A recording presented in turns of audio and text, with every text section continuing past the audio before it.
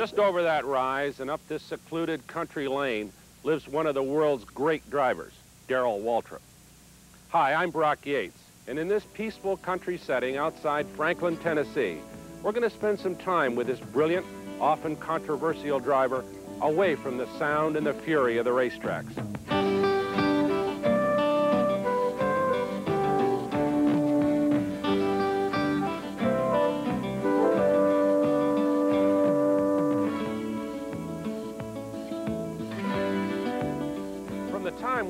Entered Grand National competition 11 years ago, his career has been filled with superlatives.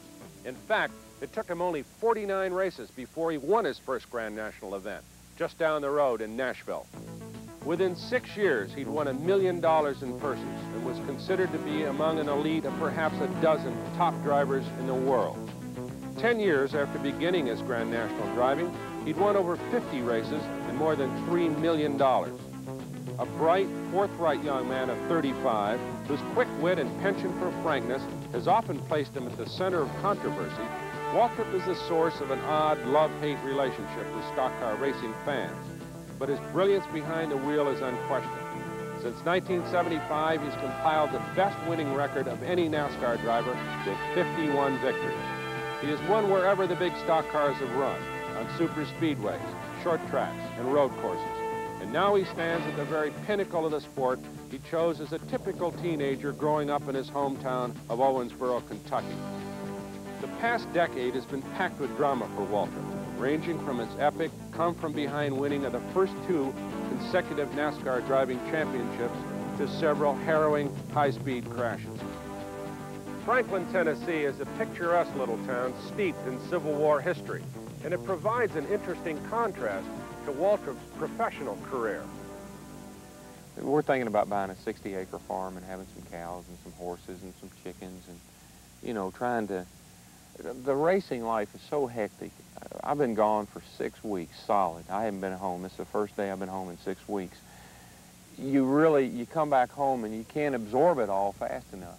I mean, my house and, and you know, I want to get out here and walk around and see what's happened to this place while I was gone. And I think I'd be even more uh, prone to stay at home more than I do if I had a farm, a place that, you know, there's something about working in the dirt and, and having animals in a barn, and, and I think it's, it's uh, um, the American way, I guess, to own a piece of property and take care of it. Yeah. I know, there's something about animals that uh, I, uh, you know, I always use it as kind of a judge of people. If somebody that says I hate animals, I always wonder about it. I wonder well, if there's something lacking in their soul somewhere. There is. It, uh, do you buy him as a puppy? yeah. You know, it's a funny thing. We went to uh, dinner one night down at the uh, mall, went to the cafeteria. And uh, after we got through eating, we always go in the pet shop. So we went in the pet shop, and Frank was in the cage, and he was he was big. He was like three months old, and that was he was a big dog. And he was laying in the cage. His tail was running up the back of the cage. His nose was pressed against the front of the cage, and his paws were pressed against the front of the cage. And he was just laying there, just, you know, in a stupor. And we walked over, and, and uh, I saw him, and I said, oh, my Lord, I can't believe it. And I pecked on it. There was a glass between us. I pecked on the window, and he never changed his expression or nothing. He never changed. His tail run up the back of that wall, just started going, dun, dun, dun, dun. And I told Stevie, I said, we got to get that dog out of there. And so that's where he came from. He's the only animal we ever bought, but it tells you a lot about how we spend our money here.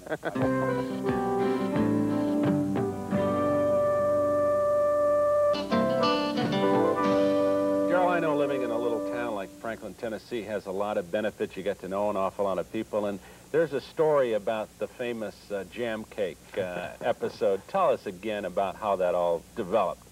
Well, there's a the little delicatessen down in town here where we all have lunch every day. Uh, most all the businessmen, all my friends and, and buddies all run into each other at lunchtime. And it's Lila's Deli. And uh, Lila, Lila is a good friend of our of Stevie's and mine. And I used to go in there prior to a race, and she made this jam cake. And man, it was so good. And I'd always get a piece of jam cake before I left town to go to a race. The times that I did get it, I'd win. And the times that I didn't, well, I wouldn't, coincidentally. So Lila became, she just knew that it was the jam cake that was making me win. So, boy, she'd call on the phone and say, okay, come in today. I got a fresh jam cake made. And I'd go down and eat a big piece of jam cake.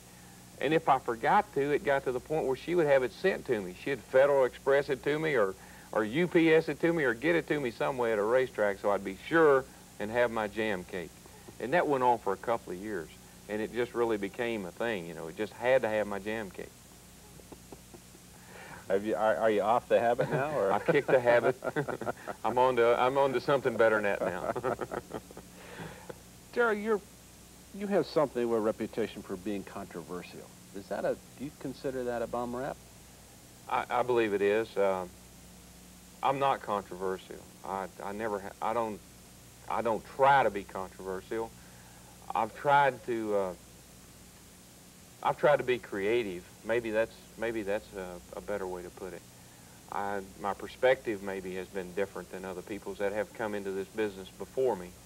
But I've never meant to be controversial, and, and there were times, i tell you what happened to me.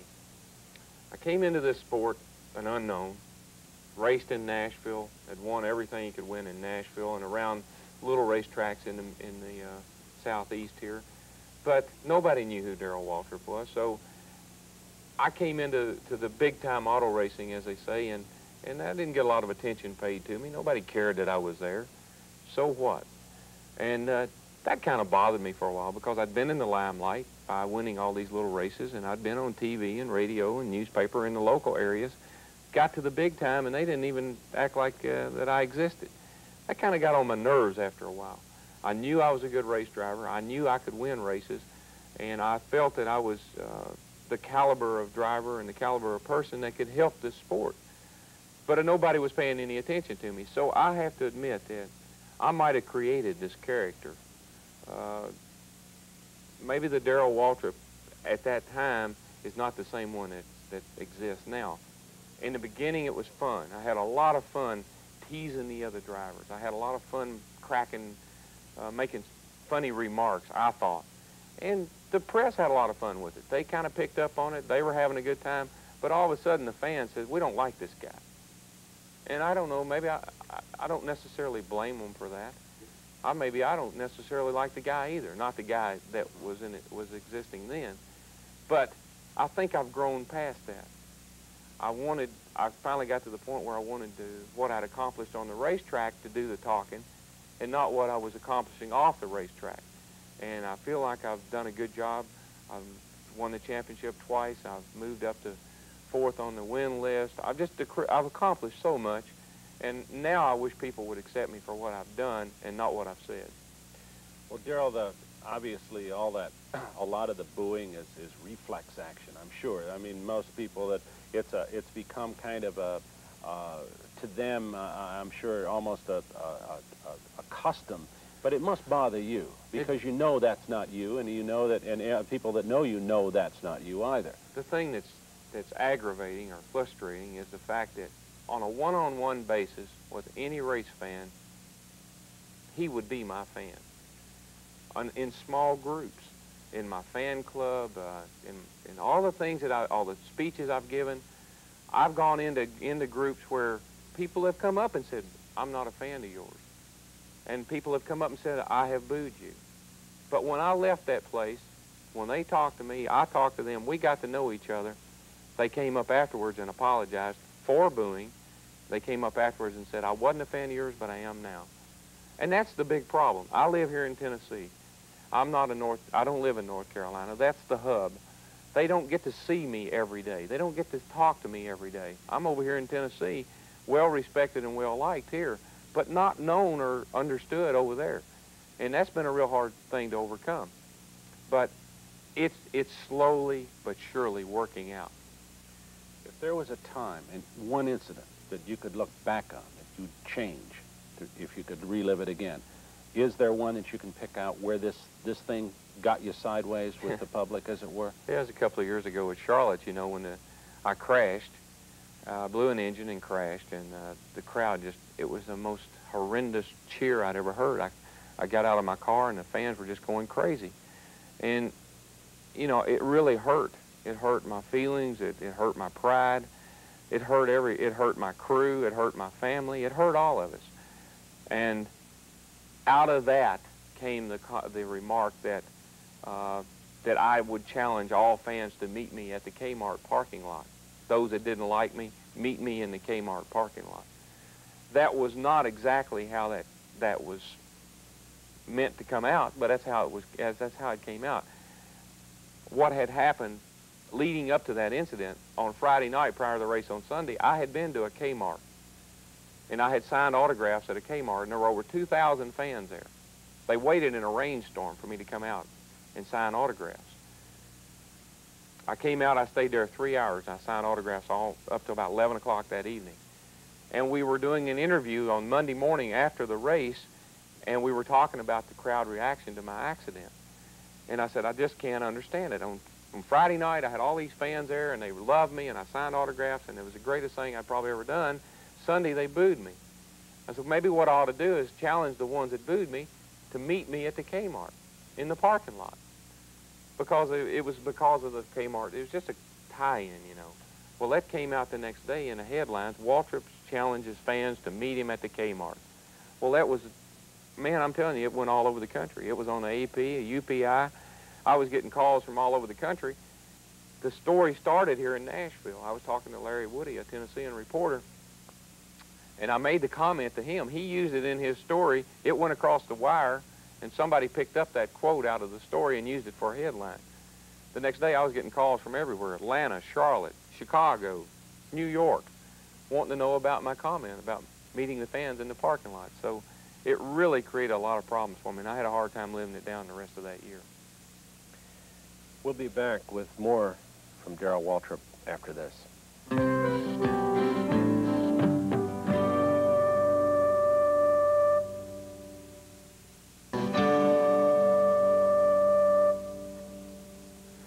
People tell us that you're a, a real perfectionist in most everything you do, especially in your driving, but also in your personal life and even even the, the occasional times when you hit the golf course. Is that correct?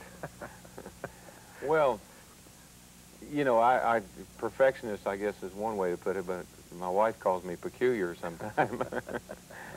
I, I like things. I like things to be nice. I like. I always pride myself in taking good care of everything I have. My home, my automobiles. Uh, I like my race cars to be immaculate, and of course, you know, that just lead, one thing leads to another. Of course, daggone it, everything I get ready to do, it's the competition, you know. I got to be the best.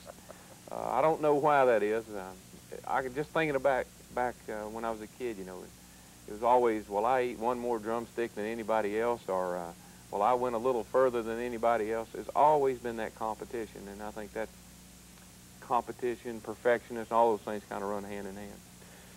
Did you drift into being a race driver, or did you know from an early, uh, early childhood point that you wanted to do that?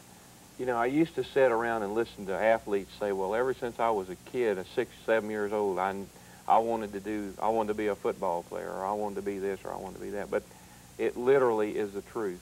I can remember when I was six years old, going to races with my grandparents in Owensboro, Kentucky, and watching G.C. Spencer race on a dirt track in Owensboro and I don't know if I got, uh, the fumes got to me or what happened, but I knew from the time I was six years old and I'd go home and, and get on my, my little tricycle or my bicycle that I wanted to be a racer. And when I got into high school, I knew I wanted to race. I was on the track team. I couldn't drive a car at that time, so I just did it on my feet. And um, I was the best half miler in the state for a couple of years. And uh, when I got old enough to drive, I was racing go-karts all this time too, but when I got old enough to drive, I couldn't wait to build a race car. I got a race car and a driver's license all at the same time. When did you find out in your own mind that you were good, or better for that matter, than the, the other guys? Well, when I was 12, uh, we were racing go-karts. My dad got me a go-kart, and we'd throw the thing in the trunk, and we'd run around uh, home there on Sunday afternoons racing. Sometimes it was only through a on a parking lot with hay bales, but daggone it, it didn't matter where it was or what kind of track it was or anything else, I'd always win. And uh, I guess I knew then, I, I had that instinct, that winning instinct. I had that desire that no matter how many it was ahead of me or how long the race or what the deal was, I wanted to win it. And I think uh, I knew right then and there when I was 12, 13 years old that that given the opportunity, and that's something that's very, very hard to come by, but given the opportunity that I could be the best race driver in the world. When you began to get into Grand National stock car racing, as I recall, you had a couple of seasons where things weren't so good. That you did you ever waver? Did you ever say this isn't for me? It was a lot tougher than I thought it was going to be. You know, you have all these visions. Uh, all I ever thought you needed was a car and a helmet and a track. And if you were the best, you would win. Well, I found out there was some more ingredients that went into that that I wasn't ready to deal with. Uh, politics was one of them. Uh, I never really knew anything about that part of racing. I assumed that everybody had a car and, you know, it went through inspection, you went out on the line and you run the race and there was nothing supposed to interfere with that other than the competition. But I found out early on that that wasn't necessarily so, that when you have a sanctioning body and, and the press and uh, all those things that you had to deal with, that that was a factor in whether you won or lost a race too. So uh, I think in about 1974, I, I had run for Rookie of the Year in 1973. I had a great year. I had the best finishes. I made the most money, but I didn't win the title. And uh, that was very discouraging, very depressing, as a matter of fact, uh, because I didn't politically play the game like I was supposed to. Today, I understand it. Understand that there's a lot more to racing than just racing. That's what I try to tell guys all the time. Uh, there's a lot to racing on the track, but there's a whole lot to it off the racetrack, too. And in some of those early years, I thought maybe I ought to go back to racing my sportsman car at Nashville or Salem or Louisville or somewhere, Birmingham, whatever, and forget about the big time because the big time was maybe a little more than I was ready for.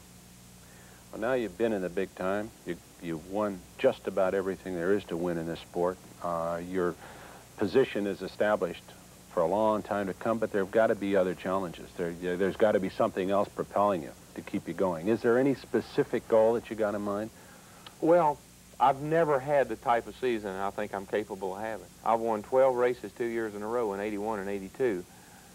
But I've never really, and I, maybe no race driver ever thinks that he's had his, his best season yet. Uh, in the years, on the two years I won 12 races, uh, I still felt like I could have won 12 more. So that's a gold. But uh, there have been so many great drivers in this sport before me that have set so many records that it'd be humanly impossible to break them. But I want to accomplish as much as I can. I want to win as much as I can.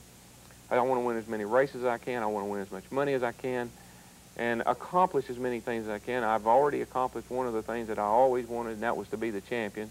I don't want to be the champion once or twice. I'd like to be the champion from now on, and that's a big goal.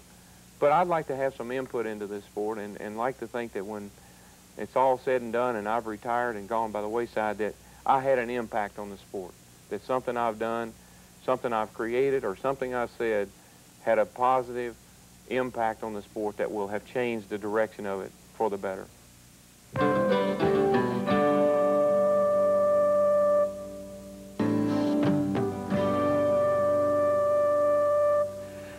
Thanks for joining us. And I want to go back a couple of years. I remember reading about a moment when Darrell had had a pretty serious crash, and I think you brought him back here and uh, drove him home. He was in the back seat of the car, as I recall, with a very, very severe headache.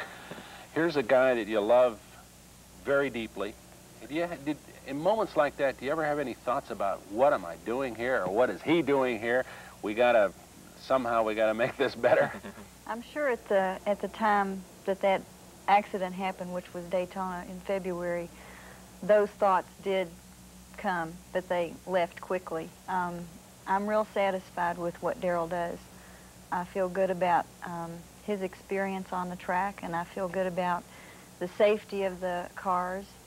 And um, just, just, every once in a while, um, I'll think, well, I wonder what it would be like if he had a nine to five job and stayed home. And but really and truly, I, I like what he does. Well, you do. Uh, she's a pretty good scorekeeper too, isn't she? And keeps she, you honest out there. She works in the pits and keeps the laps and calculates the gas mileage. And I've, I've run out of gas on the lap she says I'm going to run out on every time I've ever run out of gas. It's always us trying to stretch it a little bit further that maybe makes us run out on the racetrack. But she tells Junior he can run 60 laps or he can run 65 laps, and that's when we run out of gas. So that's why I sent her. To, that's that's why she went to school. Had to have somebody that could add and subtract. Do you tell him about it when he? I, I'm sure you do when he runs out after you work Oh, all yes. those. cal- Yeah. I, just, I like him to know that it really wasn't my decision. but it is. It it makes it makes it a terrific way to spend uh, life together when she is actually participating in a sport that can otherwise be very difficult on marriages. Can it? that's that's what's helped me is that Darrell has always um, included me and involved me in what he's done, and in, instead of expecting me to stay home and and that kind of thing, that to me would be a, a terrific strain uh, to be a part because he races not only in the Grand National division, but he races 15 or 20 races in other divisions throughout the year. So that's 50 weekends or weeks that you are away um, from home. But away together. And speaking of including, I really do appreciate you including us today and letting us come into your home and talk with you, Stevie Andy. and Darrell. Thank you so much. You're Our welcome. pleasure. Our pleasure. And I'm Brock Yates, and thank you for joining us today on The Great Driver.